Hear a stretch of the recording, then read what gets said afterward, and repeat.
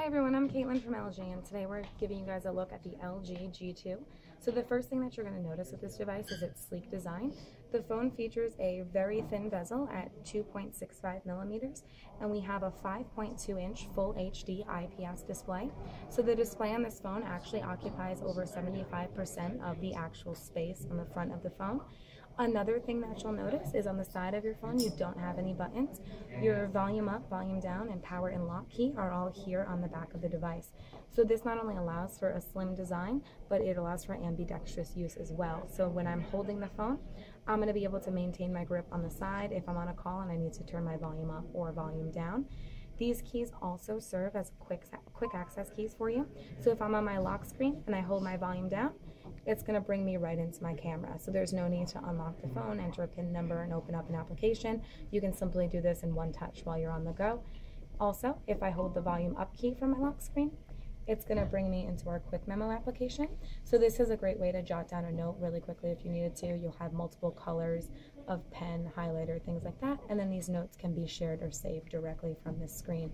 So the device is using a Qualcomm 800 Snapdragon processor.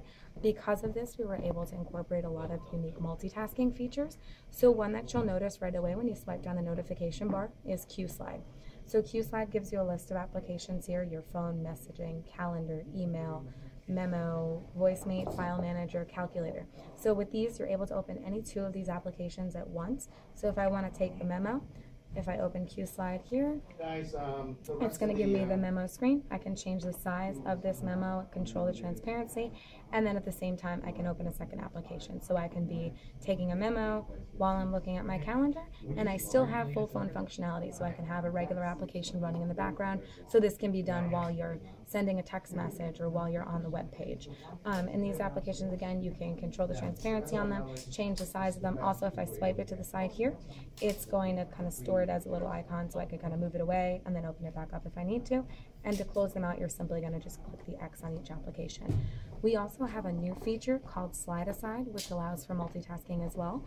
So with Slide Aside, if I open my gallery, if I make three points of contact and slide to the left, it's going to store that application there for me. So say I was in my gallery, now I need to go send a text message. Slide that to the left, and again, I'll use the browser as an example. Now these applications are all stored in the side. So in order to access them, I'm just going to make three points of contact and slide to the right.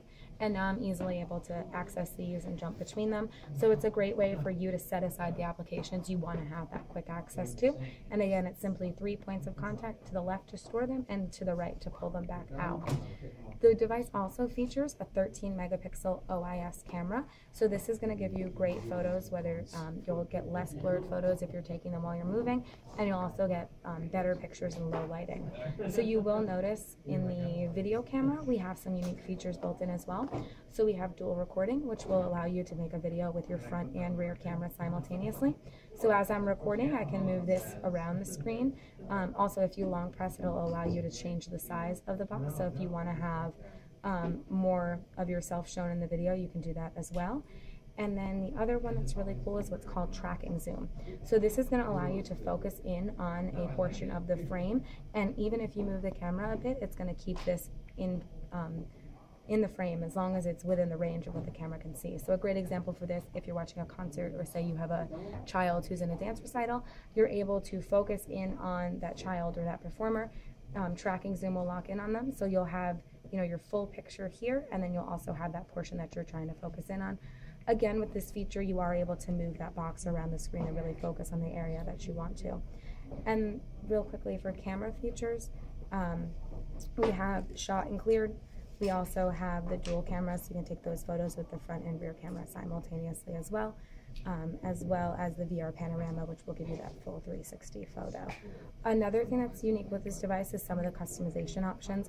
So you'll notice on any icon, if you long press, you're going to be able to change not only the size of the icon, but you can also customize it to a different picture if you'd like, including your own photo icon. You can also customize your system keys along the bottom here. So if you go into your display settings under front touch buttons, you have a bunch of different layouts for your system keys. So if we switch to this one here, I now have a key to bring it down and bring up my um, notification bar. So this is something that will allow you easy access. And again, you're going to customize that layout to whatever fits best for your needs. So, um, due to the processor, the Qualcomm Snapdragon 800 that's in here, with great performance, the device also features a 3000 milliamp SIO Plus battery, and we are um, using a different technology called GRAM or graphic RAM, and so this is going to help to enhance the battery performance on the device as well because it takes a load off of the CPU that's in the phone. So the LG G2 not only features a unique design, but it's also ideal for multitasking. It's going to keep up with heavy usage all through the day. Okay, so how do you turn it on and off without touching the button?